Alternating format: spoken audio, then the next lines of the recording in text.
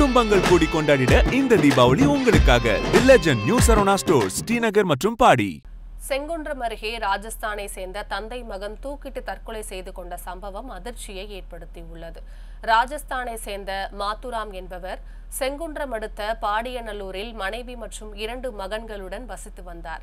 மாத்துராம் அதே பகுதியில் fancy store ஒன்றை நடத்தி வந்த நிலையில் நேற்று இரவு கடையை தூய்மைப்படுத்தப் போவதாக மனைவியிடம் கூறிவிட்டு தனது மகனுடன் மாத்துராம் சென்றுள்ளார்.